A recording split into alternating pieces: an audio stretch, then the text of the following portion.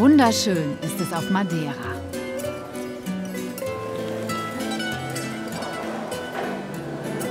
Mit der Seilbahn fahren wir erstmal auf den Monte, hoch über der Hauptstadt Funchal.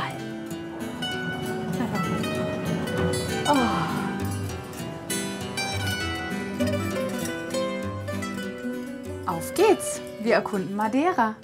Die Insel gehört zu Portugal, liegt aber rund 1000 Kilometer entfernt mitten im Atlantik. Auf unserer Reise geht es kreuz und quer, um Ihnen die typischen, großartigsten und sehr eigenwilligen Seiten der Insel zu zeigen. Davon gibt es eine ganze Menge und eine fantastische Natur.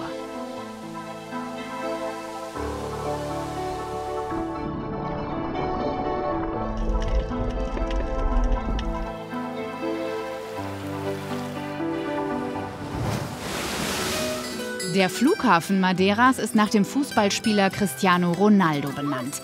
Hier gibt es immer noch den Verein, wo er das Kicken gelernt hat. Denn er ist in Funchal aufgewachsen.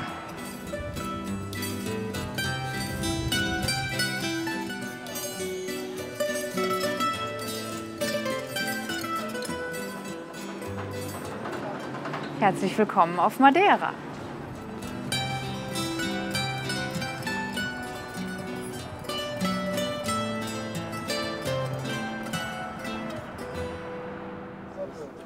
Hallo und gute Reise. Rauf mit der Seilbahn, runter mit dem Korbschlitten. Früher waren die Schlitten ein Verkehrsmittel für die Weinhändler auf Madeira. Heute sind sie eine legendäre Touristenattraktion in Funchal. Gemütlich ist es. Noch. I'm good to go. I'm good to go. I'm good to go.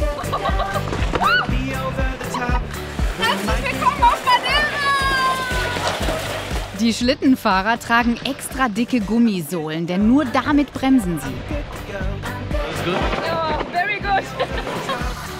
Mike is gonna drop. I'm good to go. I'm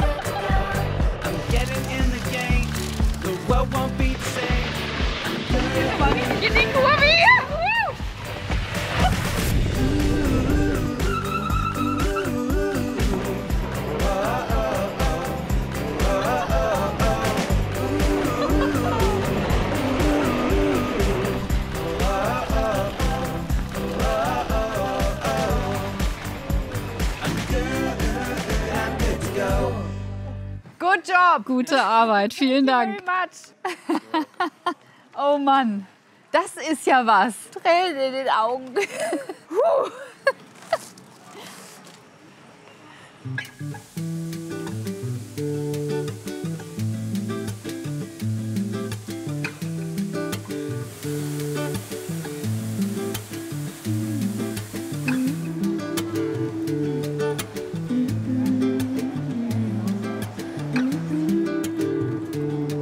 Hauptstadt Madeiras ist übrigens nach einer Pflanze benannt. Funcho bedeutet Fenchel.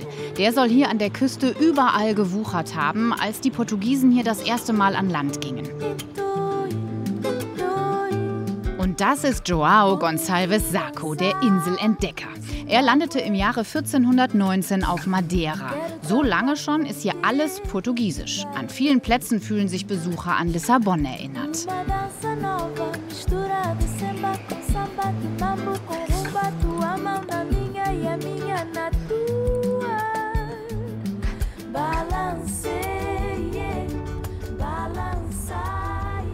Nach Funchal kehren wir noch mehrmals zurück.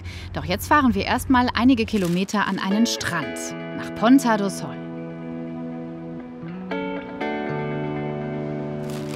Die Atlantikinsel Madeira hat viele schroffe Steilküsten. Es gibt einige wenige Sandstrände und eine Menge schöner Badeplätze mit Steinstränden, wie in Ponta do Sol.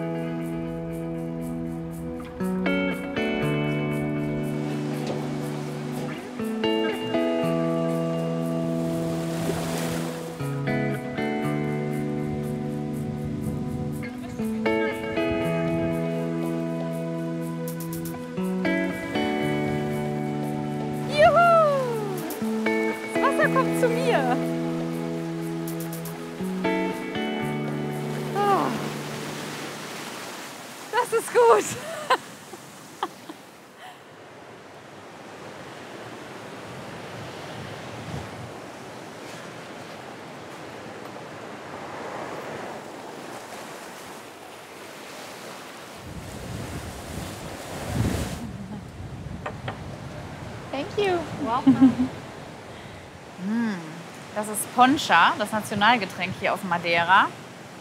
Das ist Orangensaft, Zitronensaft, Honig und Zuckerrohrschnaps. Zum Wohle. Hm. Oh.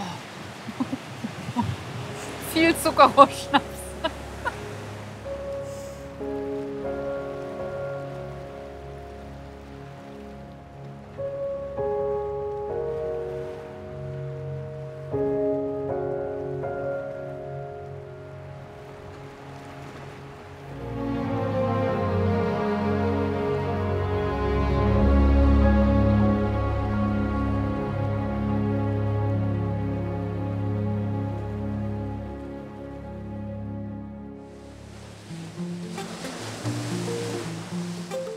Neuer Tag und immer noch Lust auf das Meer.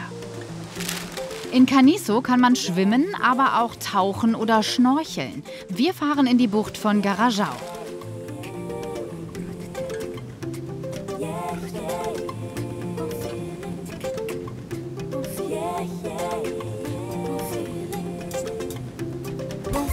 Diese Christusstatue ist wesentlich kleiner als ihre Pendants in Rio de Janeiro und Lissabon.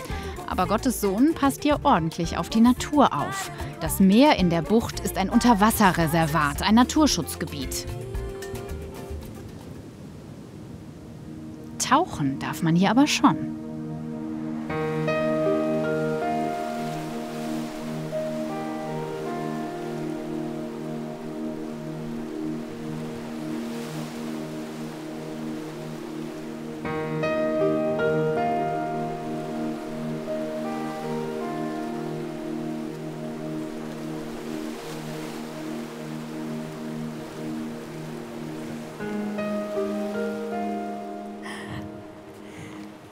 Ist ja der Hammer hier. Jungs, was ist das denn für eine Terrasse? Willkommen in Madeira. Ich freue mich. Sascha, Marco, ihr nehmt mich jetzt aber erst mit aufs Wasser, ne? Wir so fahren ist jetzt der Plan. Machen wir.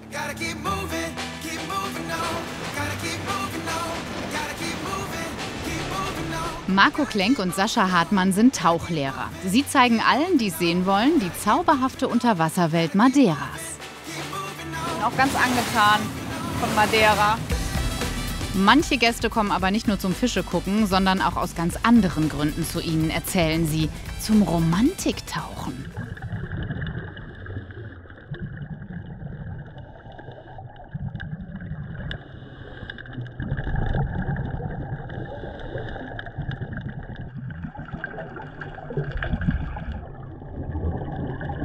Na, das hat geklappt. Und die vielen Fische haben zugesehen.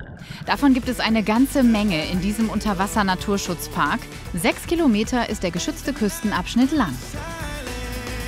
In der Richtung Naturschutzpark. Ja. 86 wurde der Naturschutzpark gegründet, weil es gab halt viele Fischerei. Hier ist ja halt eine Fischerinsel. Man sieht halt, dass, es, dass viel gemacht wird. Also es wird schon geschützt, wird auch überwacht vom vom Naturschutzpark und von den Rangers. Heute darf hier nicht mehr gefischt werden. An der Südküste Madeiras laufen die warmen Ausläufer des Golfstroms entlang.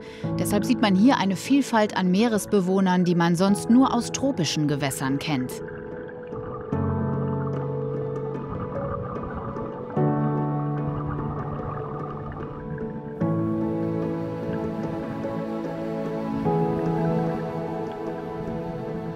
Auch diese Exemplare sind ja schon eine echte Augenweide, aber die meisten Taucher kommen, um solche Zackenbarsche zu sehen. Oder solche Rochen.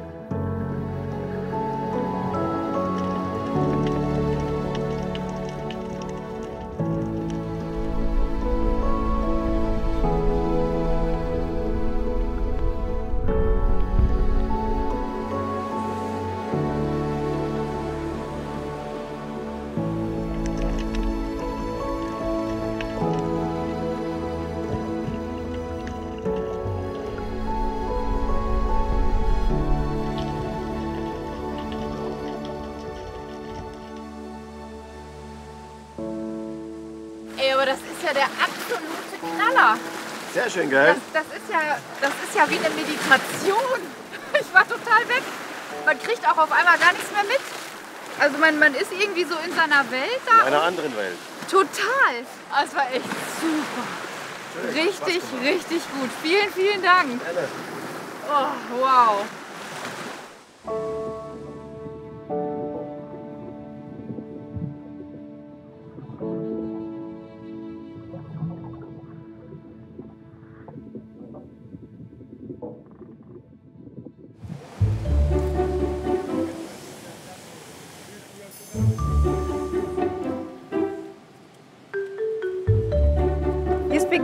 Sprechen Sie Englisch? No. Nein? Okay, thank you.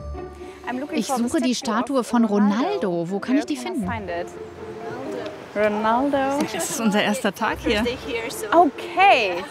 Die Statue ist da drüben bei dem Gebäude an der Seite. Looks Und sieht er gut aus? Äh, sieht ganz nett aus, aber nicht so gut wie das Original. Okay, okay. Da ist er. Man sieht ihn schon von hinten hier. Er ist ja viel größer. So streng genommen müsste ich jetzt genauso angelaufen kommen wie Ronaldo auf dem Platz nach dem Tor, oder? Ja.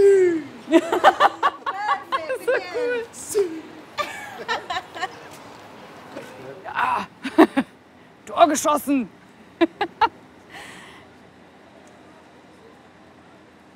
Cristiano Ronaldo, nascido na Madeira, born in Madeira, 5.2.1985. Er heißt Cristiano, ist ein Zampano, trinkt als Geschenk mal, auch gern ein Denkmal, weil er den schönsten Body hat. Fußballern bringt das bestimmt Glück, wenn man hier so ein bisschen ne, guten Tag sagt. Und man sieht sehr deutlich, wo er sonst noch so angegrabbelt wird. Mache ich jetzt aber nicht. Ich nehme lieber die Wade.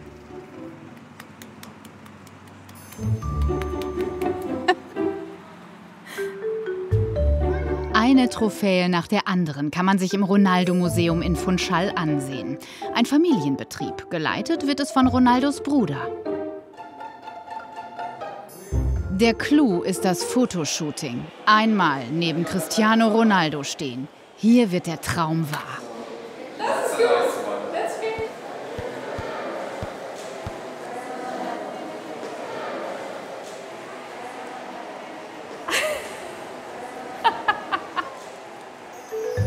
Ronaldo virtuell, Ronaldo in Gold, Ronaldo lebensgroß und für manche besonders verführerisch, Ronaldo ganz aus Schokolade.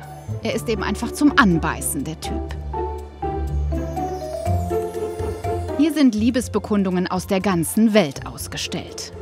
Und wer wissen will, wo er eigentlich herkommt, auch das erfährt man.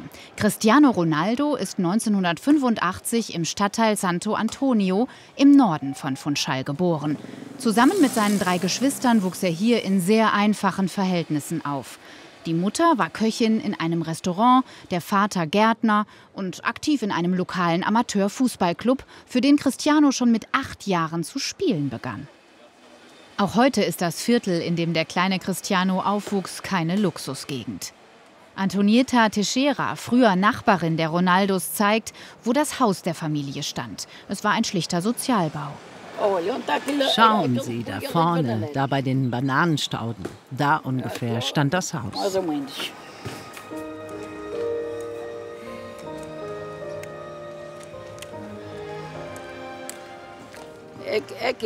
Hier waren die Wände der Zimmer.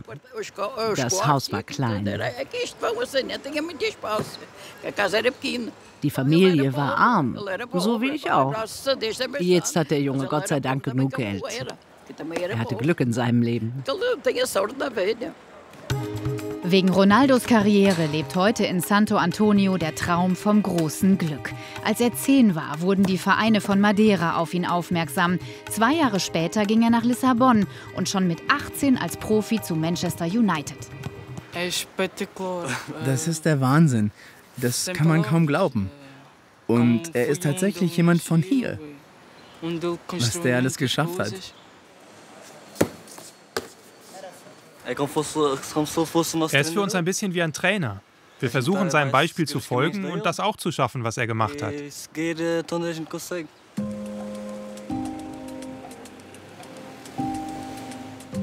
Filio da Terra, Sohn der Heimat, wird er hier genannt.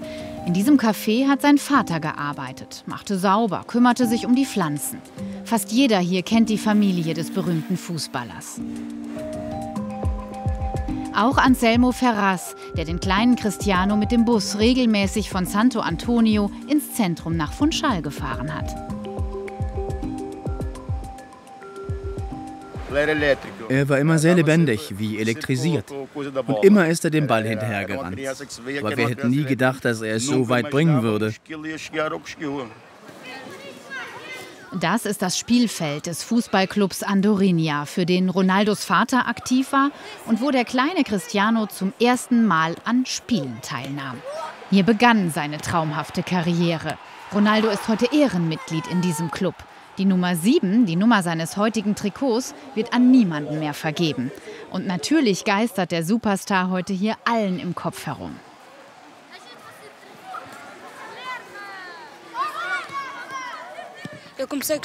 Ich habe seinetwegen mit dem Fußballspielen angefangen.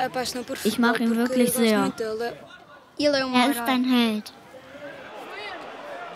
Das ist der heutige Präsident des Amateurclubs Andorinha. Auch er erinnert sich oft und gern an den großen Fußballer, als er noch ein kleiner Junge war. Er hat diesen Siegeswillen. Er wollte einfach nie verlieren und weinte, wenn ein Spiel daneben ging. Er weinte, wenn er den Ball verlor. Er weinte, wenn er nicht Kapitän war und wenn er nicht auf dem Mannschaftsfoto war.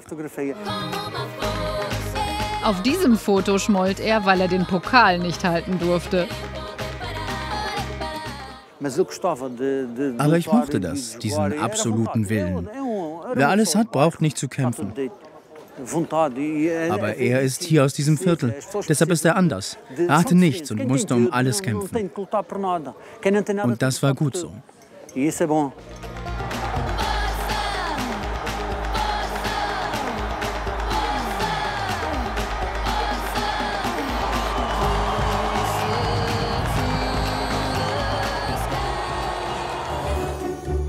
So, lieber Cristiano, da musst du jetzt durch.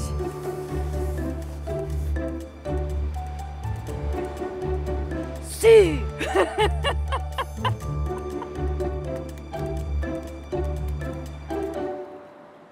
Auf zur nächsten Prominenten mit Madeira Connection.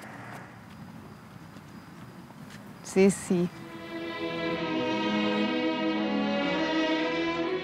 Sieht aber ziemlich ernst aus, oder? Dabei soll sie hier wirklich glücklich gewesen sein. 1860 trat Elisabeth I. von Österreich wegen eines Lungenleidens auf Madeira eine fünfmonatige Kur an. Mehr als 30 Jahre später kam sie wieder und feierte hier ihren 56. Geburtstag im Reeds Palace Hotel, heute immer noch eine der nobelsten Adressen in Funchal. Die Atlantikinsel Madeira war zu Sissis Zeiten als Kurort groß in Mode. Man lobte die dortigen Therapiemöglichkeiten. Ein regelrechter Adelstourismus blühte auf. Aber sie scheint auch Fans zu haben, die hier Blümchen hinlegen. Das ist doch nett.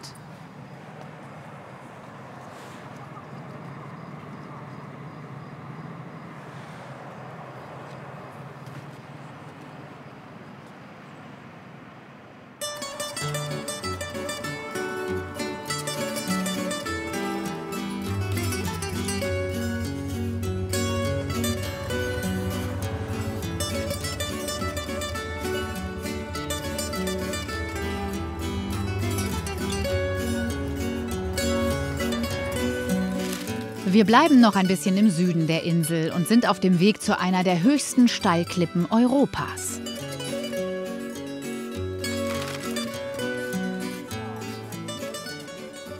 Cabo Girau, 589 Meter. Ist ja fast viermal der Kölner Dom. So hoch. Okay. Gucken wir uns an.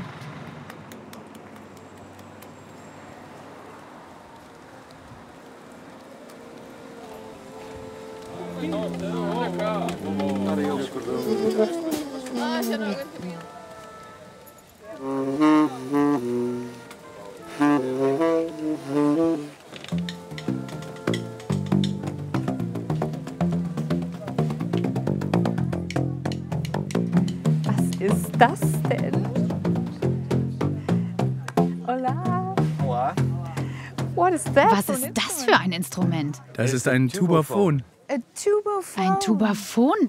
Das sieht echt komisch aus. Aber der Sound ist toll.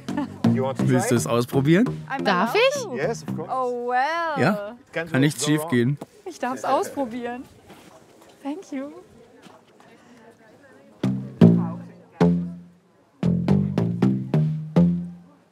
Melodie?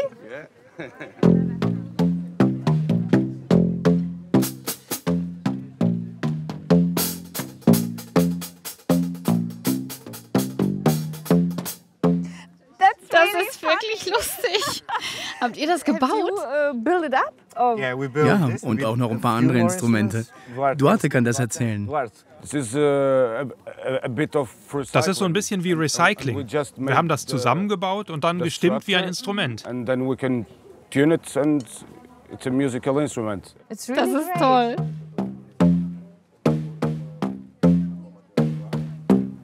You're Du bist engagiert.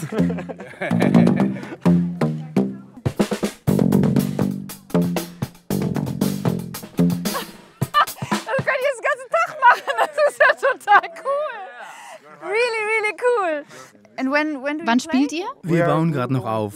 In fünf bis zehn Minuten geht's los. Oh, very nice. Sehr schön. Das höre ich mir an. Vielen Dank. Ich nehme noch den just Rucksack mit. Dankeschön. Oh yeah. Oh, really Echt gut. Thank you.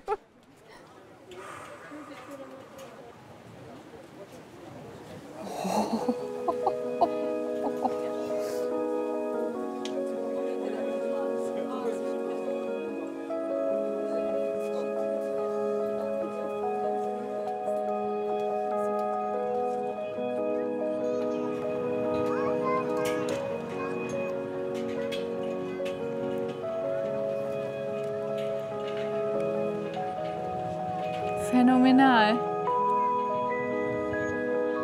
wirklich der Wahnsinn.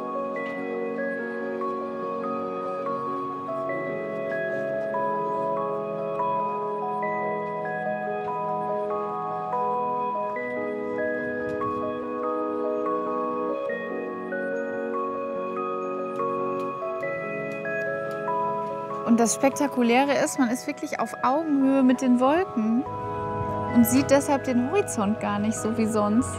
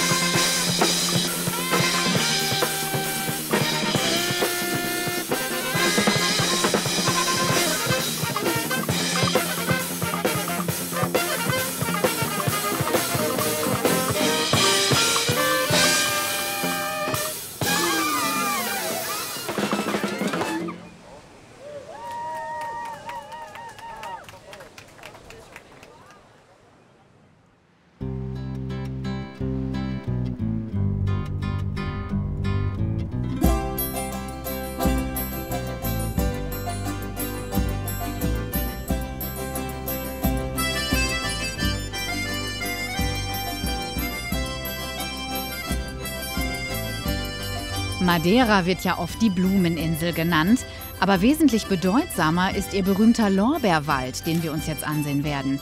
Ab dem Forsthaus von Rabassal machen wir eine geführte Wanderung.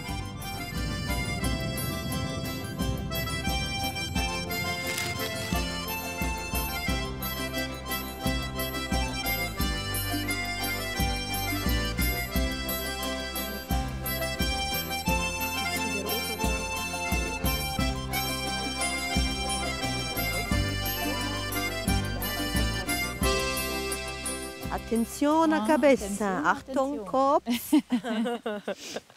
Der Lorbeerwald, erklärt meine Führerin Josefina, ist nicht nur berühmt für seine Pflanzen, sondern auch für seine sagenhaften Naturschönheiten.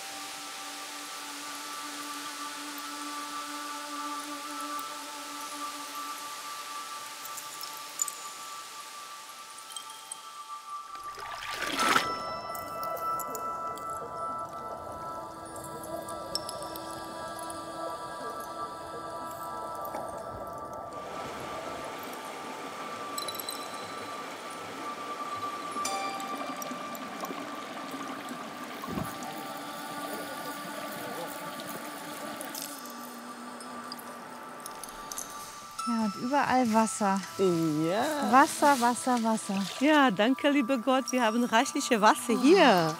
Und dieses Wasser fließt abwärts in den sogenannten Levadas. Das sind die Wasserkanäle auf Madeira, von denen einige schon vor Hunderten von Jahren angelegt wurden.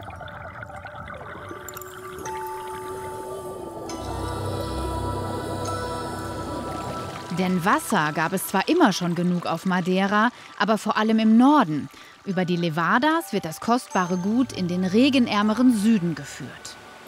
Ich habe die ganze Zeit immer nur gedacht, boah, das hat ja alles auch mal jemand gebaut. Was für eine Arbeit. Ja. Die Männer, die die Levadas angelegt haben, die Rocheros, mussten ziemlich mutig sein, erzählt Josefina. Unter Lebensgefahr bauten sie die Kanäle in die Felsen.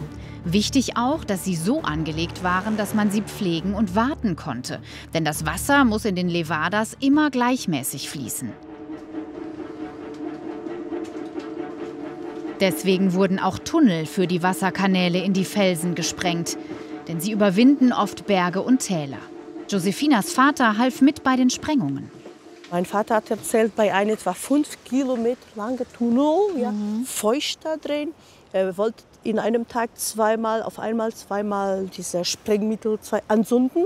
Eine war schon beim Brennen. Er versucht weiter, der zweite. Hm, Wenn er endlich geschafft hat, war fast zu spät, um rauszurennen. Oh Gebet, liebe Gott, rette mich, Frau und Kinder warten. Oh ja. Die ersten Levadas wurden schon kurz nach der Besiedelung im 15. Jahrhundert angelegt. Später mussten auch arabische und afrikanische Sklaven die gefährlichen Arbeiten erledigen. Zum Glück gab es darunter viele, die einige Erfahrung darin besaßen, wie man Bewässerungskanäle anlegen muss, damit sie funktionieren. Ja, und ich finde irgendwie, man kann hier echt schön sehen, in welche Richtung das Wasser fließt, oder? Ja, du hast recht. Guck. Juhu, Berg runter. Und es sieht so gerade aus. Das, aber es ist es ja nicht. Es muss ja fließen können. Es muss ja in den Süden. Stimmt, in jedem Kilometer ungefähr ein Meter Gefälle. Ja? Oh. Und es ist immer die Frage, wie haben die Leute damals im 15. Jahrhundert äh, es, es gemessen? Ja. Ne? So an den Abhang mit Meisel und Hammer. Und ja, sie haben ein Schilf oder dieses spanisches Rohr gespaltet. Ne? Kennst du Schilf? Mhm. Ja, ja. Und dann in dieses spanische Rohr Wasser rein. Fließt ja, fließt nicht, fließt doch. Und so haben es gemessen. Ach, ja. das war die erste Wasserwaage. Genau, es war die Wasserwaage im 15. Jahrhundert. Heute ist das Kanalnetz rund 2000 Kilometer lang. Zur Freude der Touristen. Denn an den Levadas laufen eine Menge Wanderwege entlang.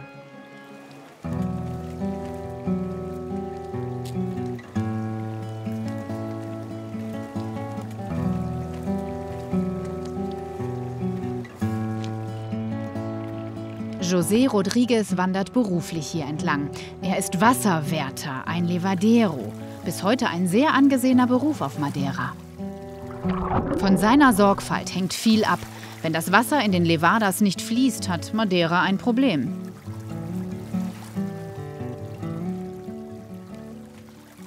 Normalerweise fange ich so um sieben, halb acht an und arbeite dann bis sechs Uhr abends. Oft aber auch länger, damit es keine Probleme gibt. Nur José und sein Kollege dürfen die Abzweigungen öffnen, die das Wasser zu den einzelnen Feldern und Gärten leiten. Denn der Levadero ist in dem ausgeklügelten Kanalsystem auch für die Verteilung des Wassers zuständig. Und zwar nur er. Diplomatie und Fingerspitzengefühl sind da gefragt. Denn nicht jeder wartet geduldig auf sein Wasser.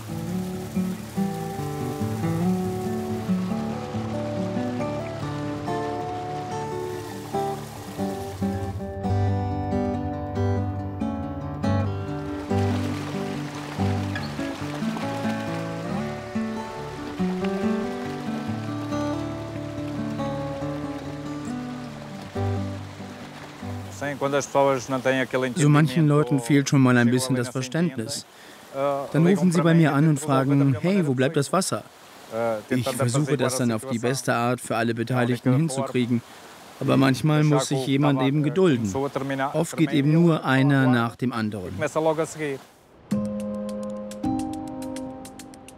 Und dann gibt es noch die Wasserkanäle, die noch aus einem anderen Grund wichtig sind. Denn mit dem Wasser aus den Levadas wird auf Madeira auch Strom erzeugt. Mehrere Elektrizitätswerke werden auf der Insel mit der Wasserkraft aus den Kanälen betrieben und danach fließt es in die Landwirtschaft. Madeira hat gute Chancen, sich unabhängig zu machen von fossilen Energiequellen, die importiert werden müssen.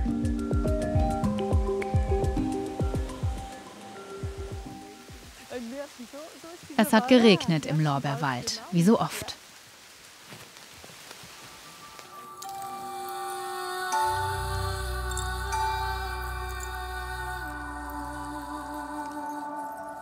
Viel ist über die Jahrhunderte von ihm abgeholzt worden.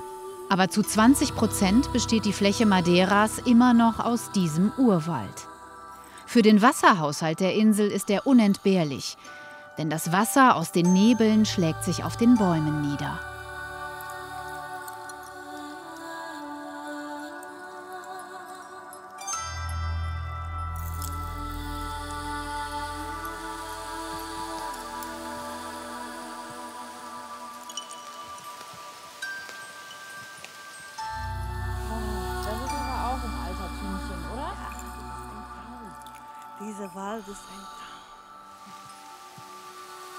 Die ältesten Bäume im Lorbeerwald sind über 800 Jahre alt. Das ist sehr wichtig für, für die Insel, für uns und für die ganze Welt. Ja. Mhm. Gute Luft, Wasser gespeichert. Das erhalten ja. bleibt, ganz wichtig, ja. Ja.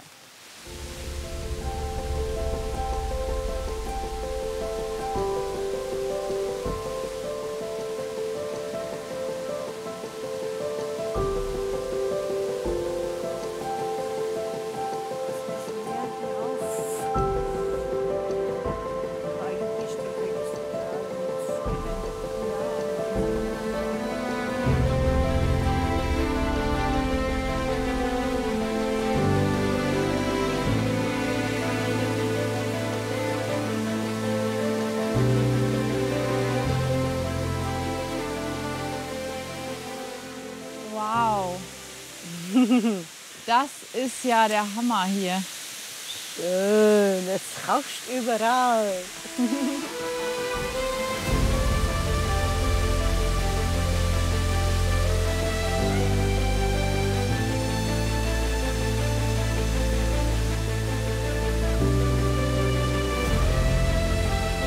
Wasser ist Leben, wir brauchen das, ja. Mensch, und ich bedanke mich ganz herzlich bei dir. Gerne. Du bist für mich die madeirische Waldfee. Vielen Dank. Es war für mich eine Allegrie, eine große Freude. Ja, für mich auch. Obrigada, Dankeschön. Anna. Obrigada. Es war toll mit dir.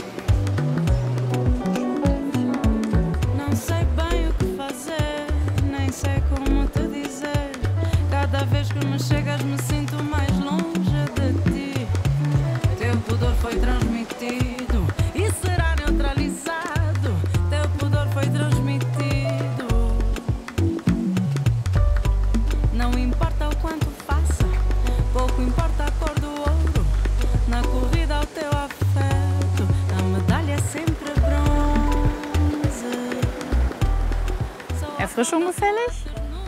Ich würde sagen, ja. Hola. Hallo, guten Morgen. Guten Morgen. Ich hätte gerne einen Saft. Was gibt's denn da? Wir haben Erdbeeren, Apfel, Zitrone, Ingwer. Sounds very good. Oh ja. Oh yes. Und die Früchte sind alle von der Insel?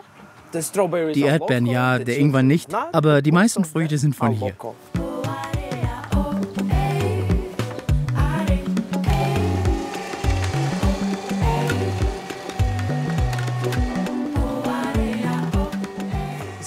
Wir sind hier auf einer romantischen Insel. Auf einer romantischen Insel? Warum ist das so?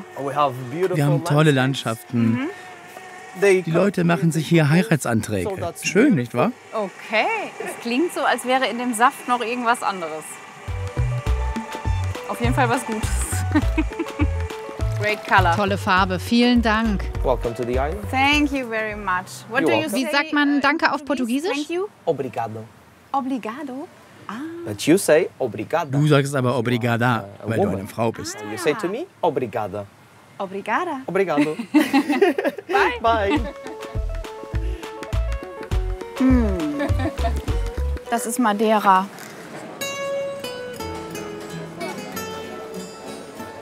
Madeira hat fruchtbare Böden und ein mildes Klima. Perfekt für Obst und Gemüse und natürlich auch für Wein.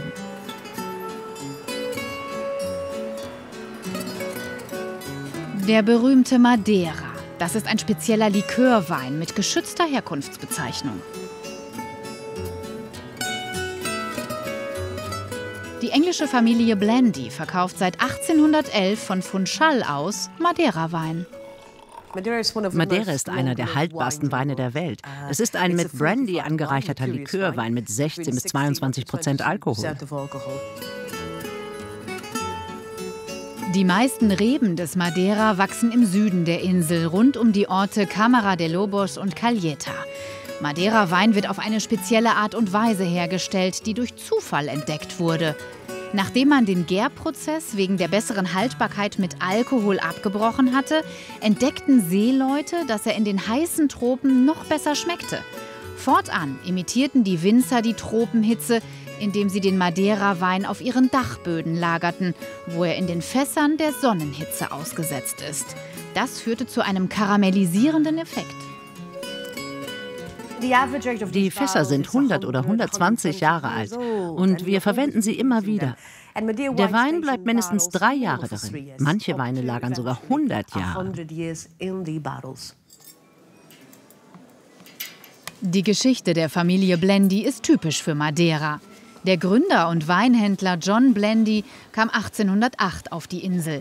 Mit seinen zwei Brüdern machte er eine Exportfirma auf und verschiffte den Madeira-Wein schon gleich zu Anfang nicht nur nach Europa, sondern auch nach Russland, auf die Antillen und nach Nordamerika. Aus dem Gewinn kaufte er nach und nach immer mehr Weinkellereien auf der Insel auf. Madeira-Wein war in dieser Zeit weltberühmt.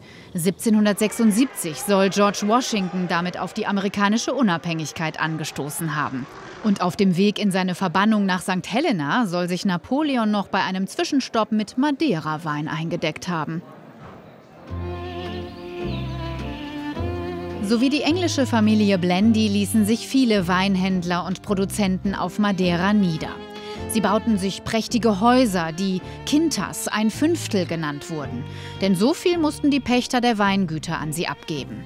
Viele dieser Villen, wie hier die Quinta Casabranca im Westen von Funchal, werden heute als Hotels genutzt.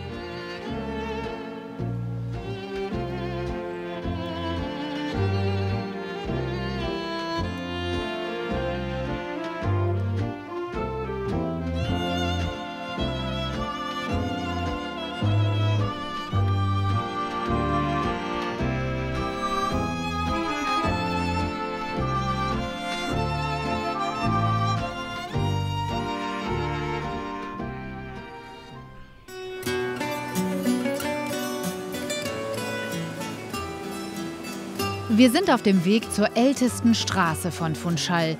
Sie wurde schon in der Gründungsphase vor 600 Jahren angelegt und führte bis vor einigen Jahren ein Schattendasein. Denn sie verfiel und niemand ging mehr dorthin. Das ist jetzt anders. 2011 hatte ein Künstler die vernachlässigten Hauseingänge der Altstadt ins Auge gefasst. Er begann, sie zusammen mit anderen Künstlern und Künstlerinnen zu bemalen.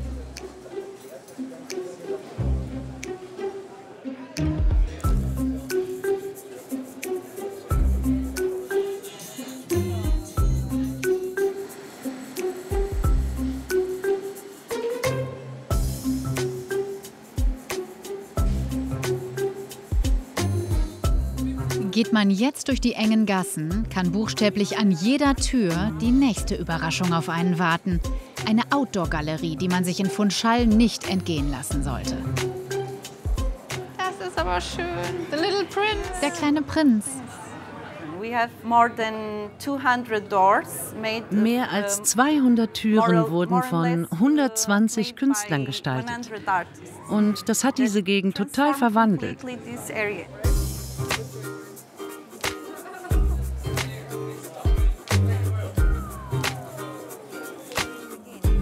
Auch Fatima hat hier eine Tür gestaltet, aber auch die Anwohner selbst und ihre Kinder. Daraufhin wurden immer mehr Gebäude renoviert, auch mit Unterstützung der Regierung.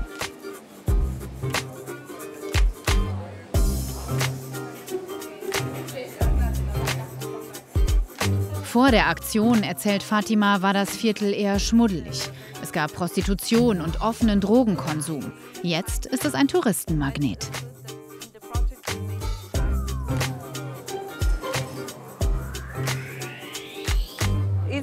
Und es geht immer noch weiter. Ah, es ist noch nicht beendet. Es ist ja ein öffentlicher Raum. Manche Türen verschwinden beim Umbau des Gebäudes. Und dann kommen wieder welche dazu. Gerade letzte Woche wurde wieder eine neue gestaltet. Ich mag das. Schön, dass es dir gefällt.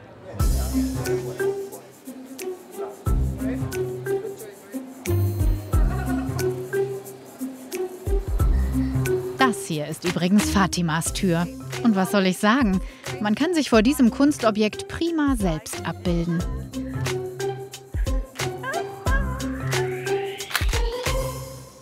Okay. I've been kissed. Tja, da bin ich geküsst worden auf Madeira. Dieser älteste Teil im Osten von Funchal nennt sich Sona Velha. Und auch wenn es hier mittlerweile ein Museum, viele Bars und Boutiquen gibt, sieht man doch noch viele einfache Häuser. In dieser Gegend haben immer schon die Fischer gelebt. Und das ist auch heute noch so. A little chapel. What is this? Ah, Diese Kapelle, die Capella do Corpo Santo, ist mehrere Jahrhunderte alt und wurde von Fischern errichtet, die hier gelebt haben. Sie waren sehr arm, aber sie haben die Kirche gebaut, weil sie sehr daran geglaubt haben, dass Jesus Christus sie dann schützen wird. Mhm.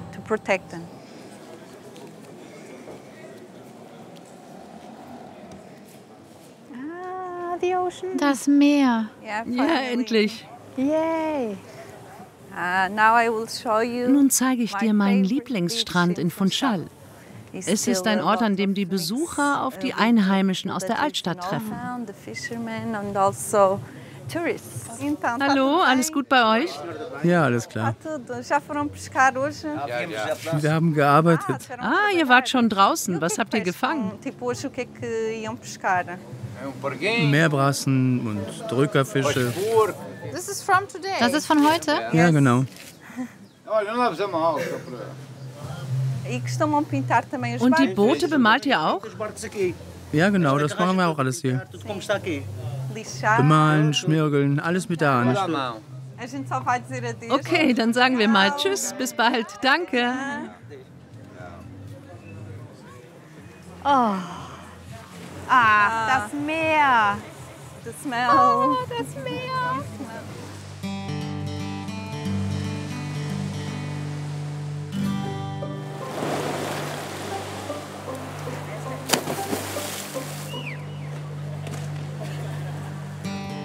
Wow. Amazing. Klar, ein Sandstrand wäre auch schön. Aber dieser Ort, direkt unterhalb der Festung, hat eine besondere Atmosphäre.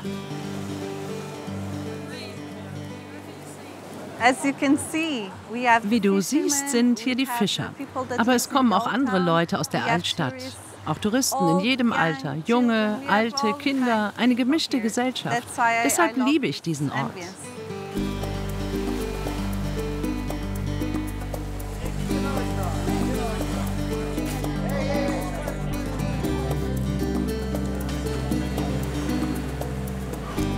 Ehemalige Festung beherbergt heute ein Restaurant, in dem auch gerne Hochzeiten gefeiert werden.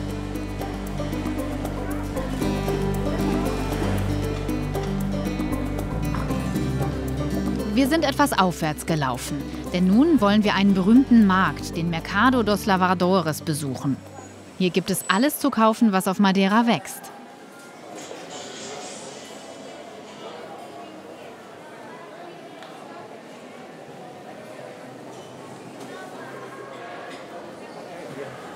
Man kann hier prima essen, aber das wirklich Spannende sind die vielen, zum Teil auch unbekannten Früchte. Ja, so sieht ein madeirischer Obstkorb aus. Also sowas habe ich wirklich noch nicht gesehen. Wollen wir mit dem längsten Ding hier starten? Was ist das? Sieht so komisch aus, nicht wahr? Wie ein Maiskolben. Das ist eine Ananasbanane, auch leckere Frucht genannt. Aber es gibt noch viele andere Namen dafür. Normalerweise wächst sie ein Jahr lang, bis man sie essen kann. Okay. So lange? Man macht das hier ab, siehst du? Nur der weiße Teil ist essbar. Und wenn die hier sich da nicht ablösen lassen, ist die Frucht noch nicht reif. This here in the oh yeah, this is the ah. juicy part. Ich finde, es sieht wirklich ein bisschen aus wie eine Banane. Mm. Mm. Sehr süß. Viele Leute haben die Frucht im Garten als dekorative Pflanze. Und manche davon wissen gar nicht, dass das eine so schmackhafte Frucht ist. Uh, Sehr gut. Was essen wir als nächstes? Mein Favorit ist die hier. Maracuja. Passionsfrucht. In der Form einer Banane. In meiner Heimatstadt essen wir die normalerweise so. Abbeißen? Diesen Teil tut man weg.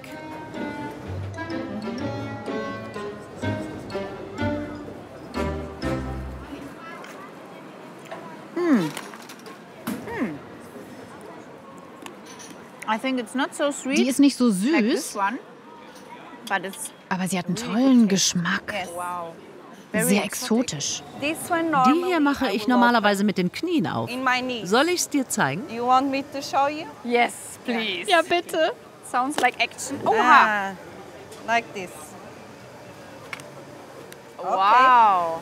It's like orange. Sieht aus wie eine Orange. like an orange. I will take some for me. Ein bisschen okay? Angst. Let's see. Graues Glibber. Das ist auch gut. Ist so ein bisschen gewöhnungsbedürftig, aber.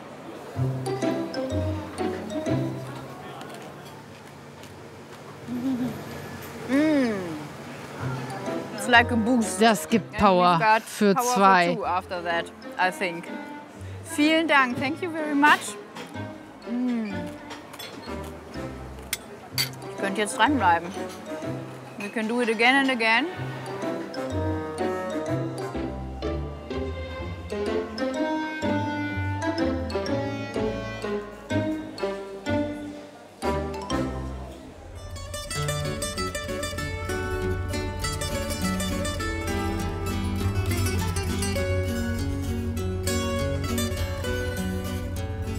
Unsere Reise führt uns jetzt in den Südwesten von Madeira. Wir fahren nach Calheta und machen noch mal einen kurzen Halt in Ponta do Sol, wo ich am ersten Abend Poncha getrunken habe.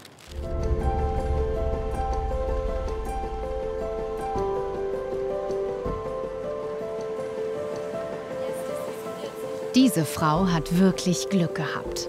Sie arbeitet hier, wo andere Urlaub machen. Und zwar deswegen, weil das Internet hier fabelhaft funktioniert und sie mit dem Rest der Welt verbindet.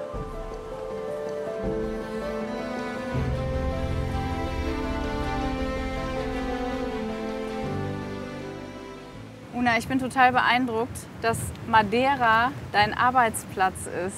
Ja, ich habe so viel Glück. Ich ja. liebe das hier und ich mag also Remote Working. Mhm. Ich glaube, das ist die Zukunft. Das heißt, du kannst überall dort, wo schnelles Internet ist, arbeiten? Ja, ja, klar, mhm. klar, klar. Also auch im schönen Ponta do Sol auf Madeira. Von diesem modernen Gebäude aus arbeitet Una für eine Firma in Paris, die ökologische Fußabdrücke berechnet. Andere arbeiten im Bereich Softwareentwicklung oder Webdesign oder in der Unternehmensberatung. Und alle hier nennen sich digitale Nomaden und fühlen sich auch so. Von Madeira aus gelangen sie mit ihrem Laptop digital in die Welt, persönlich dann per Online-Schalte.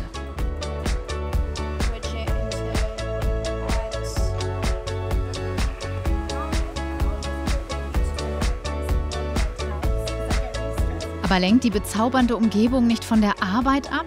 Nein, sagt Una. Aber schön, dass sie da ist, wenn der Computer aus ist. Das Projekt wird von der Regierung auf Madeira unterstützt, denn diese Art von Jobnomaden könnten in Zukunft immer mehr Wirtschaftskraft auf die Insel bringen. Nach Feierabend gibt es für die digitalen Nomaden noch reichlich Programm, zum Beispiel Yoga am Strand oder Salsa auf der Steilklippe. Auf Madeira zu arbeiten soll eben attraktiv sein.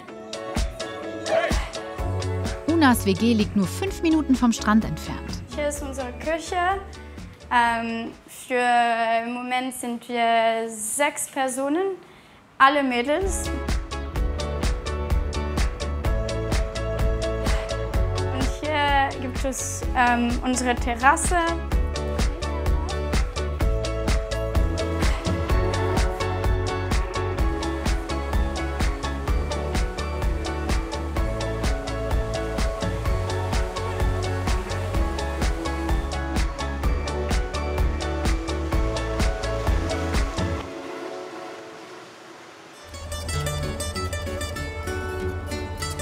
Man mit dem Auto die Südküste entlang fährt, bemerkt man erst richtig, wie viel Landwirtschaft auf Madeira betrieben wird. Das sind Zuckerrohrfelder. Die ersten davon gab es schon ein Jahr nach der Besiedelung Madeiras im 15. Jahrhundert. Immer um Ostern herum ist die Ernte. Zuckerrohr zu ernten ist Knochenarbeit. Das merkt man schon beim Zuschauen. Mitte des 15. Jahrhunderts wurden dafür in kurzer Zeit tausende westafrikanischer Sklaven hierher gebracht. Um noch mehr Platz für Zuckerrohr zu schaffen, wurden damals innerhalb von 50 Jahren fast drei Viertel des Baumbestandes auf der Insel abgeholzt. Schnell muss die Verarbeitung gehen, sonst trocknet das Zuckerrohr aus. Es wird zu Sirup oder Melasse verarbeitet. Der Rest ist Viehfutter. Von den ehemals rund 50 Zuckerrohrmühlen sind auf Madeira noch drei in Betrieb. In dieser hier wird das heute sogar noch mit Dampfmaschinen gemacht. Viele Arbeitsgänge später ist dann daraus ein hochprozentiger Rum geworden.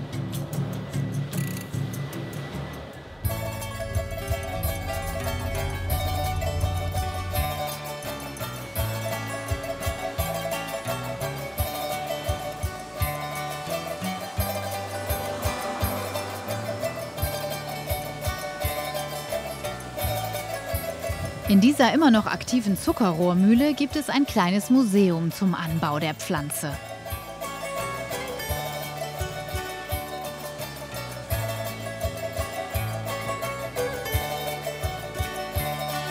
Die Zuckerpflanze, auch weißes Gold genannt, machte die einen auf der Insel reich, während die anderen unter extremen Bedingungen schuften mussten.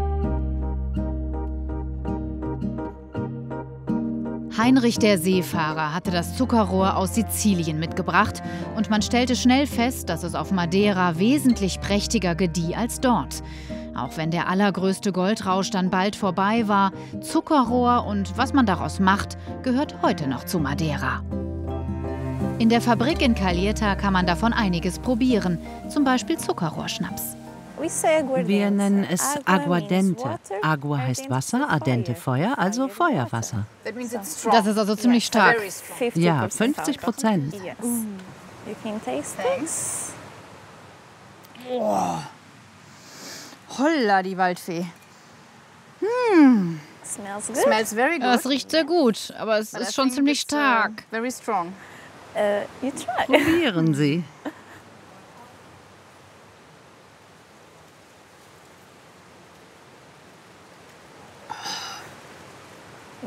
Feuerwasser? Das ist Firewater. Das ist wirklich Feuerwasser. Oh mein Gott. Und das ist der traditionelle Kuchen, den ich hier schon so oft gesehen habe. Das ist unser traditioneller Honigkuchen für Weihnachten.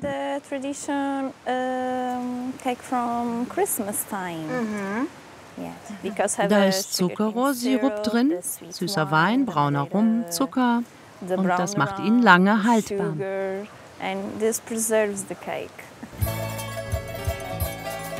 Dieser Riesen-Honigkuchen zieht unter der Folie ein Jahr lang durch. Traditionell wird er dann bei einem Fest von allen Erntehelfern aufgegessen. Vielleicht noch ein Sherry-Likör?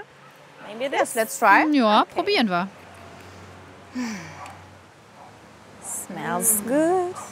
Mm. Mm, ganz lecker. Den war jetzt auch leer. mm. Really good. Yes.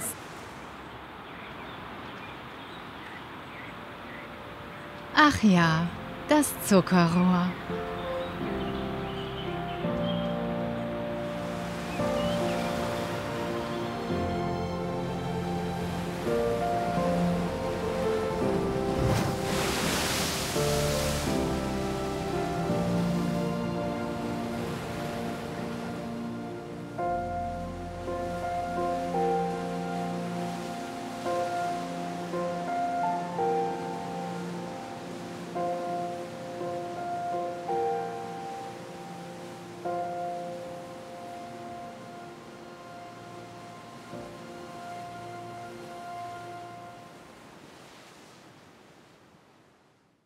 Wir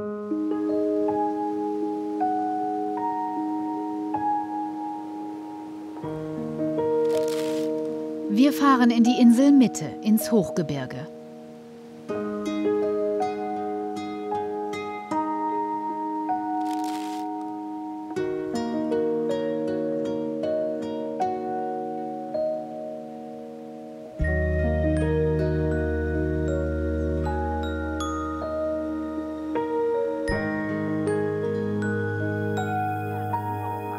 Unsere zweite große Wanderung wieder mit Josefina. Wir reden übers Wetter, dass es im Süden von Madeira eher warm und trocken und im Norden eher feucht und kühler ist, das wissen wir ja schon. Wo wir jetzt sind, ist die Wetterscheide. Die warme Luft vom Süden trifft auf die Regenreiche aus dem Norden, deshalb der viele Nebel.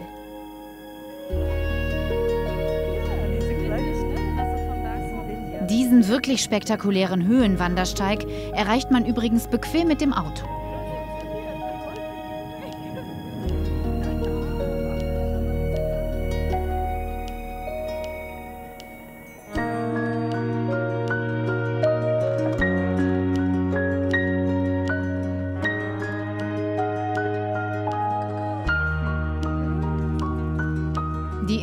Madeira, erzählt Josefina, ist vor Millionen von Jahren durch vulkanische Ausbrüche entstanden. In mehreren Eruptionsphasen hat sich die Landschaft so herausgeformt. Die letzte begann vor 500.000 Jahren. Erdgeschichtlich gesehen ist Madeira eine junge Insel. Die Flüsse hatten nicht die Zeit, sich Täler im Gestein zu schaffen. Deshalb gibt es hier so viele Wasserfälle, wie wir schon gesehen haben.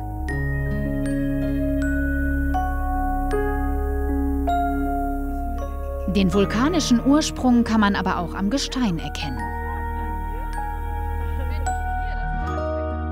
Ja, schau mal. Das ist Basalt. Guck mal, was für ein Gewicht. Ja, das ist die Lava, die hat sich schnell erkaltet, ja, ist ganz fest, ist äh, nicht wasserdicht, ja, ja.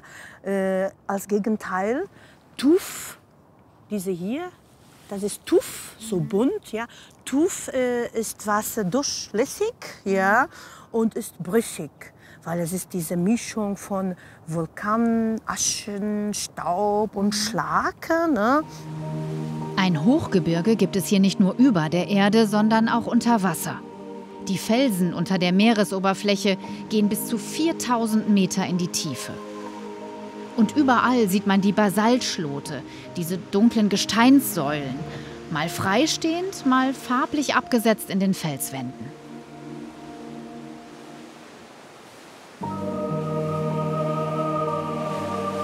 Auch die Strände auf Madeira bestehen aus Vulkangestein.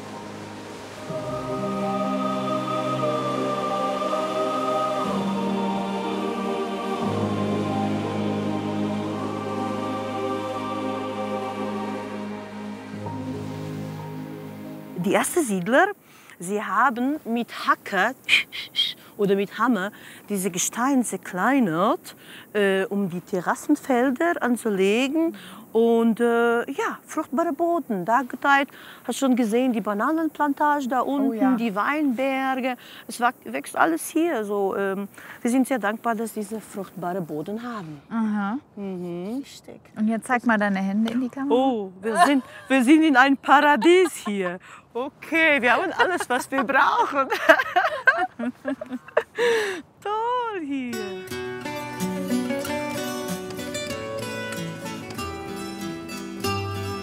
Die Strecke, auf der wir hier wandern, ist uralt. Schon seit Jahrhunderten führt der Camino Real über die Insel, der Königsweg. Hier wurden früher auf Veranlassung der Regierung mühevoll Waren von einem zum anderen Ort der Insel transportiert, auch über solche Höhen.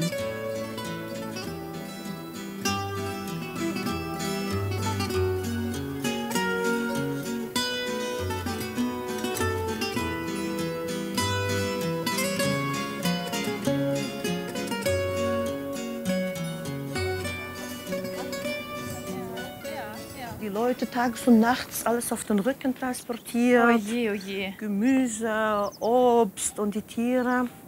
Weil Straße hier auf der Insel haben wir erst äh, Anfang äh, 20. Jahrhundert. Mhm. Die Geschichte sagt 1903 oder 1904 die Engländer, Geschäftsleute, haben ja. das erste Auto nach Funchal gebracht. Okay. Und dann sie haben angefangen mit Straße. Ja, ja, also ganze Insel ist mit solchen Pilgerwege. Ja.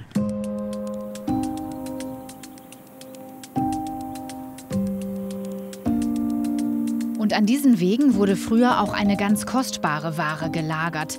Wir erreichen ein sogenanntes Pozo da Neve, ein Schneehaus aus Vulkanstein.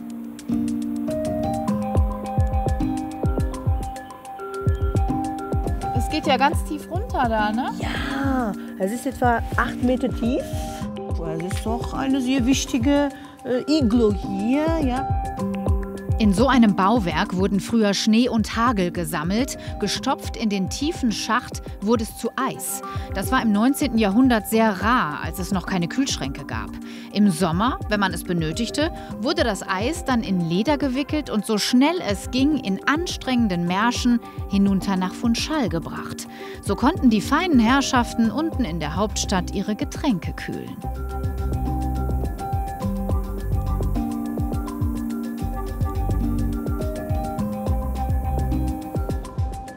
In dieser Höhe, wir befinden uns hier auf 1600 Metern, kann es tatsächlich auch manchmal schneien. Und die Leute sind verrückt. Sie müssen es sehen, ja, zu klar. glauben. Ja, genau. Und dann fahren hier hoch, so nah wie möglich. Und dann bringen die Kinder mit. Und dann kommen Großeltern und Kinder, Enkelkinder. Und dann spielen mit Schnee.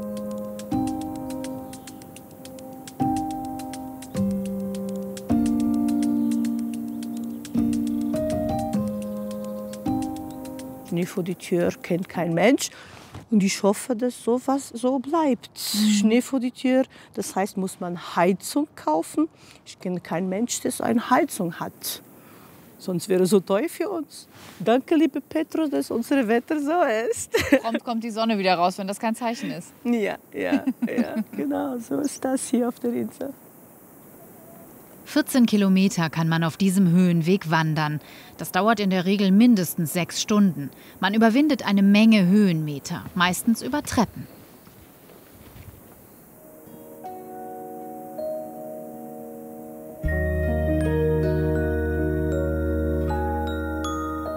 Wir nähern uns einem ganz besonderen Aussichtspunkt.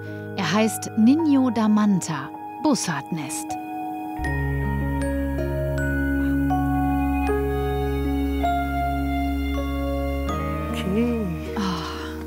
Mal, wie die Wolken ziehen. Ja, traumhaft.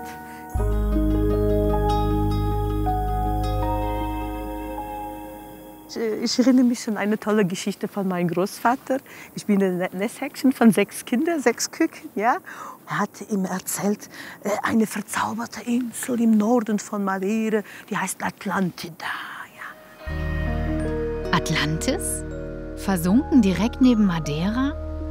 Hat zumindest Josefinas Großvater behauptet. Und sie hat es ihren Kindern schon weitererzählt.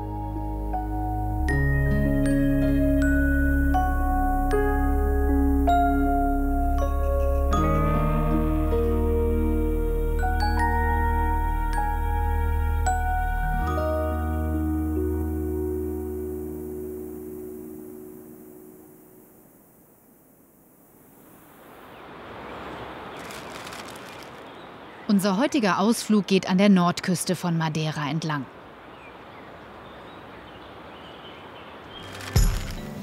Those golden stories that we own These precious memories of old So many words I have to hold close to me But you are my warmth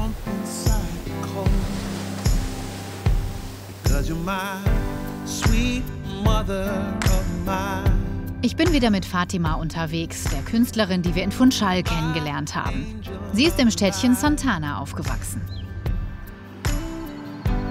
First Lady of Life, Sweet Mother. Let's go. Here we are. Mother of mine. Wow. Das ist meine Stadt. Schöne Landschaft. Das ist deine Heimatstadt. Ja, da vorne bin ich zur Schule gegangen. Okay. Dann kennt dich hier wahrscheinlich jeder. Kann man so sagen. Hallo. Geht's Ihnen gut? Tudo bem. And uh, today we had wir haben heute echt Glück mit dem Wetter, denn hier in Santana regnet es ziemlich häufig. Fatima will uns in ihrem Städtchen zeigen, wie früher auf Madeira die meisten Häuser ausgesehen haben. Das waren die traditionellen Strohdachhäuser, die Casas de Colmo. Einige wenige werden auch heute noch bewohnt. Bon dia. Hallo, guten Morgen. Alles gut bei euch?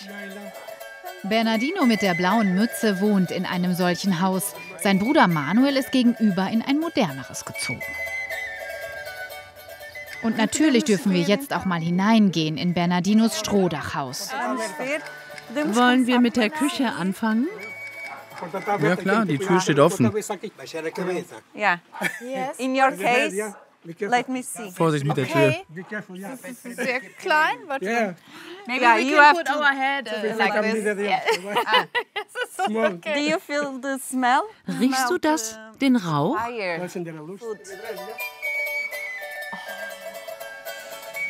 Das riecht hier aber echt so nach Rauch. Kein Wunder, denn es wird hier ja auch mit Holz geheizt und gekocht. Auch Brot backt Bernardino hier, am liebsten für die ganze Familie.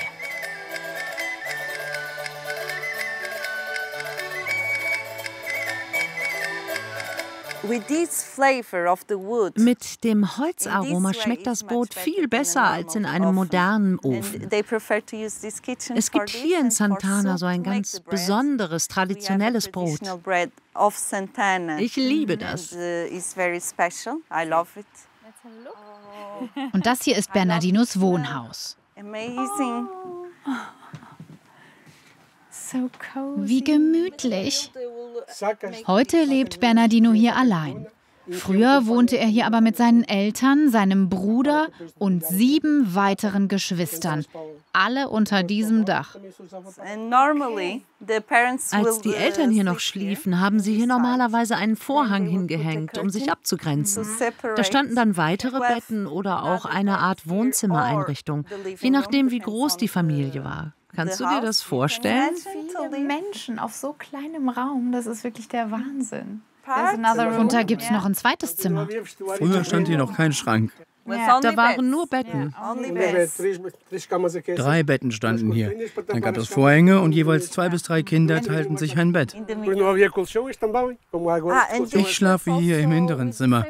Früher war das Bett nur mit Stroh gestopft. Heute gibt es aber eine ordentliche Matratze. Eine Heizung brauche ich nicht. Das Stroh dämmt gut. Im Sommer ist es kühl und im Winter ist es warm.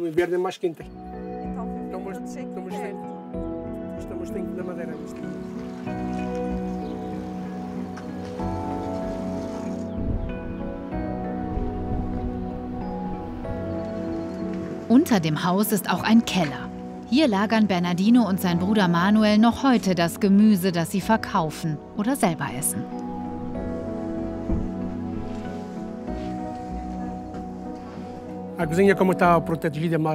Das Strohdach der Küche muss alle acht bis zehn Jahre ausgewechselt werden, aber das Dach des Wohnhauses sogar alle fünf Jahre. Das Problem ist, man findet heute einfach keine Leute mehr, die diese Arbeiten machen und aus der Landwirtschaft das Stroh besorgen können. Das ist wirklich sehr schwierig geworden. Die Strohdachhäuser waren früher über die ganze Insel verteilt und wegen ihrer preiswerten Bauweise sehr beliebt. Schon im 16. Jahrhundert lebten so die Landarbeiter auf Madeira.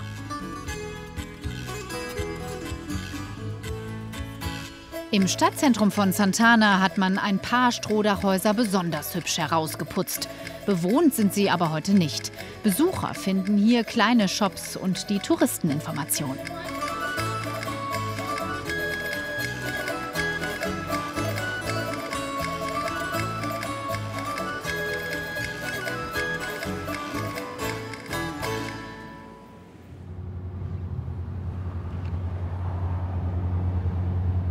Und weiter geht unsere Tour durch den Norden, der touristisch übrigens noch etwas weniger ausgebaut ist als der Süden.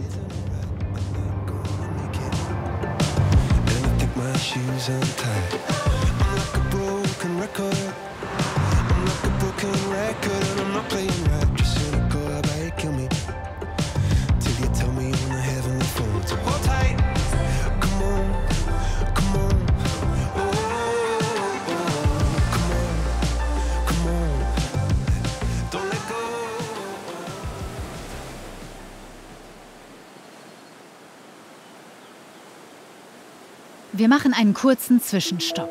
Fatima möchte mir etwas zeigen. Nicht den Wasserfall, der ist zwar auch ganz nett, aber wir laufen noch ein kleines Stück weiter auf die andere Seite der Straße.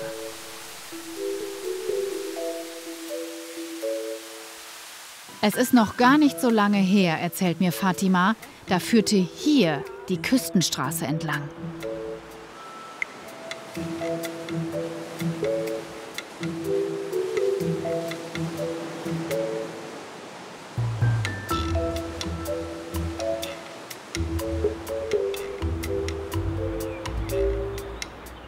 Also das ist wirklich unglaublich. Ich kann mir das nicht vorstellen, dass hier mal Autos hergefahren sind, aber es ist so gewesen. This is the old road for das hier war die Straße für den ganz normalen Verkehr auf der Insel. Oh mein Gott. Kannst du dir vorstellen, wie das war, wenn hier zwei Autos aufeinander zukamen auf diesen engen Straßen? In meiner Kindheit sind wir hier mit der ganzen Familie mindestens einmal im Jahr lang gefahren. Alle ins Auto und dann einmal komplett um die Insel. Über diese Straße und das mit diesen Klippen.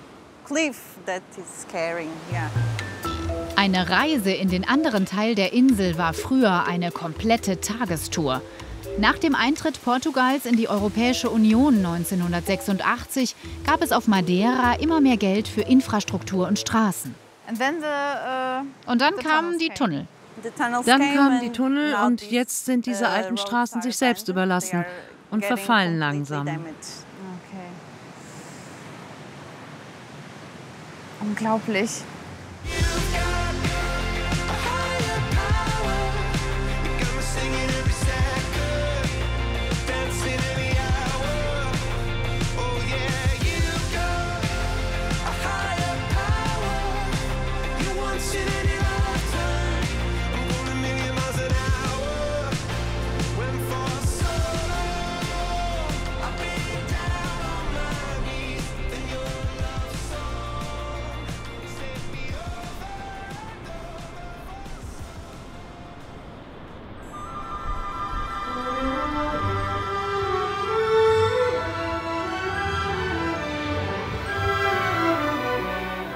Länger man auf Madeira durch die Landschaft fährt, desto mehr hat man das Gefühl, mitten in einem Abenteuerfilm zu sein. Gleich tauchen hier ein paar Dinosaurier aus Jurassic Park auf oder auch Indiana Jones. Was für eine Landschaft.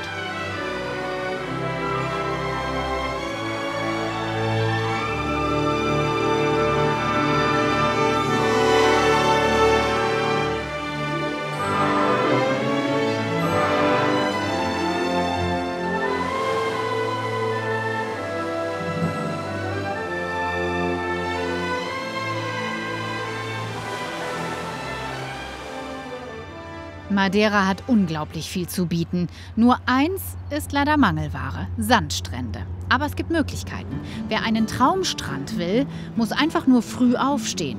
Jeden Morgen um 8 legt die Fähre ab von Funchal zur Nachbarinsel Porto Santo. Die Fahrt zum Sandstrandparadies dauert rund zweieinhalb Stunden.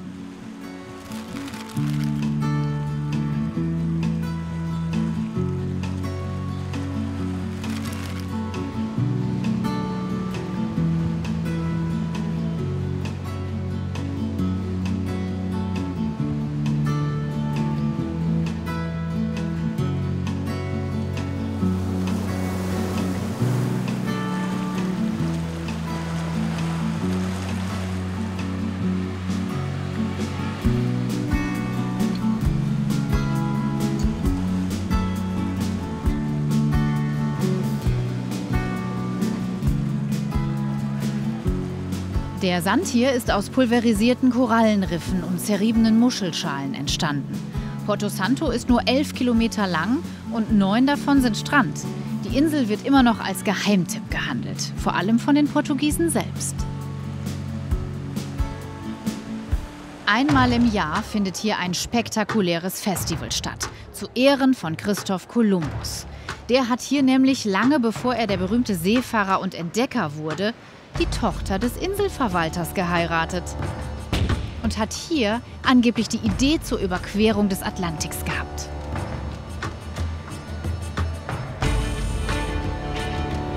Drei Tage lang wird hier Kolumbus' Epoche in vielen Facetten auf äußerst fantasievolle Weise wiederbelebt.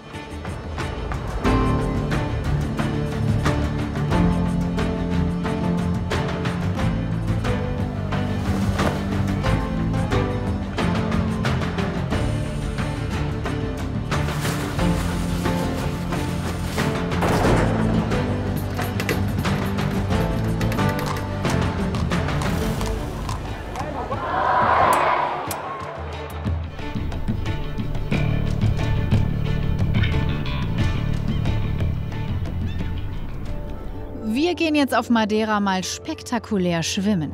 Das geht auch ohne Sandstrand.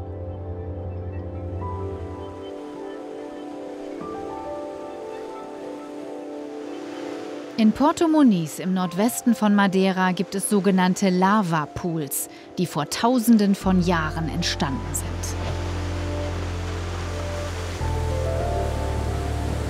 Geschützt hinter diesen bizarren Felsbrocken kann man entspannt im Atlantik schwimmen.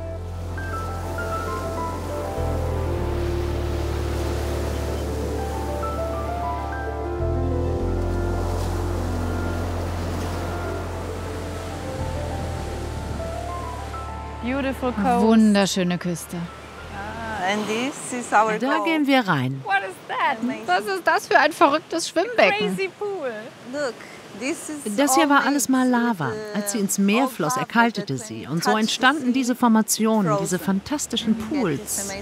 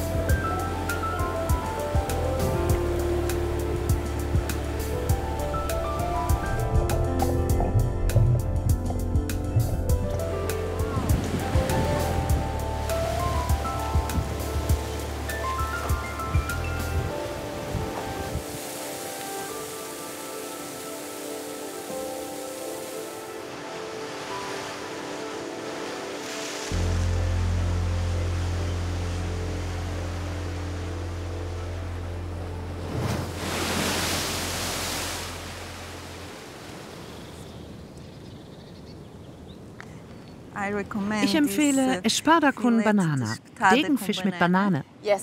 Das habe ich schon mal gehört. Fisch mit Banane. Fish with banana. Okay. Nicht zu verwechseln mit Espetada. Das ist ein Fleischspieß. Das ist was ganz anderes. Okay. Something different. Very similar. Okay. Okay, lass uns das nehmen. Der Degenfisch, der Espada, lebt in bis zu 2000 Metern Tiefe. Mit langen Leinen wird er aus dem Meer geholt. Erst durch das Auftauchen wird der Fisch schwarz. Sein Fleisch ist weiß und weich.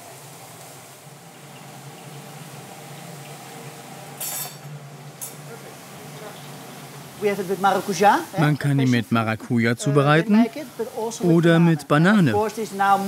Es gibt immer neue Kombinationen, denn es gibt schließlich ja viele neue junge Köche auf Madeira. Sowohl die Fischfilets als auch die Bananen werden in heißem Olivenöl gebraten. Das Gericht findet man auf fast jeder Karte auf Madeira. Die Süße der Bananen in Kombination mit dem Fisch, den sie hier fangen, das ist für mich ein perfektes madeirisches Gericht.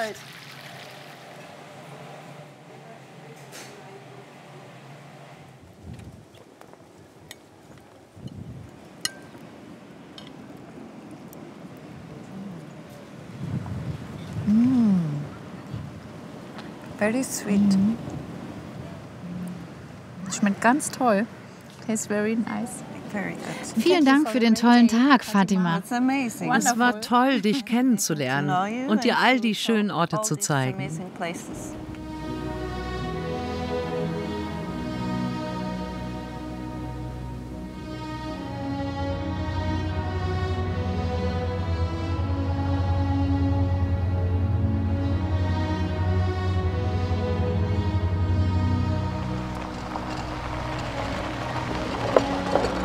Wir sind auf dem Weg zu unserem letzten Madeira-Abenteuer in Achadas da Cruz.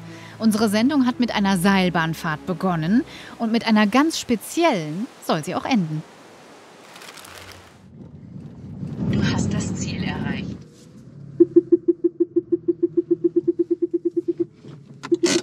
Angekommen. Da ist die Seilbahnstation.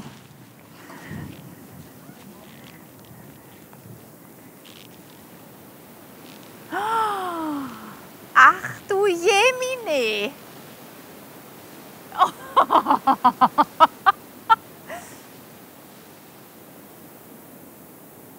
Das hier ist der Seilbahnmeister. Good morning. Good morning. Kann ich die nächste Kabine nehmen? Ja, gerne. Okay. Ich äh, habe ein bisschen I'm a Angst. little bit afraid because it's so Es geht so tief runter. So deep there. Nun, meine Dame, ich will ehrlich sein, dies ist die steilste Seilbahn in ganz Europa und die höchste in Madeira. Madeira. Einsteigen.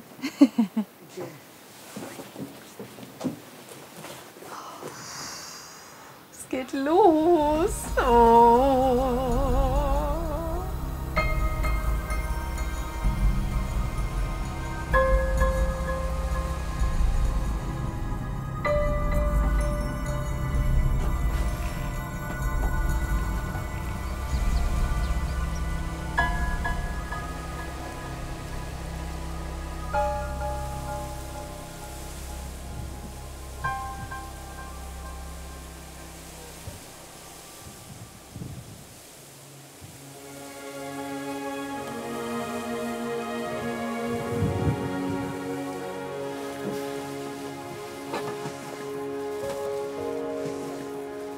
Hier ist viel wärmer.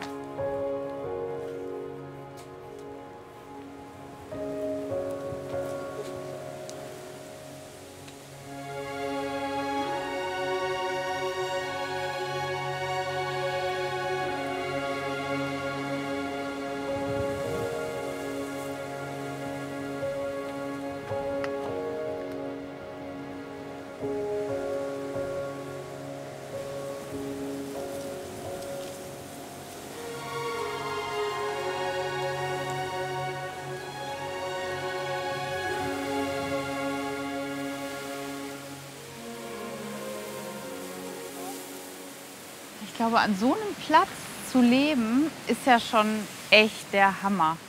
Da ist jemand. Hola! Wir kommen immer nur tageweise hierher. Oder fürs Wochenende. Ach, das ist also Ihr Wochenendhaus. Und wie ist es hier? Es ist ziemlich rau an der Küste. Na, heute ist es etwas windig. Letzte Nacht hatten wir Regen, aber insgesamt ist es hier warm, ruhig und friedlich. Wir mögen es. Ich schätze, Sie schlafen sehr gut hier. Das stimmt. Und mit dem Regen letzte Nacht war es umso besser. Okay. Und nur die Geräusche des Ozeans. Vielen Dank. Hat mich gefreut. Das ist mal eine andere Art von Kleingarten, ne? Echt schön.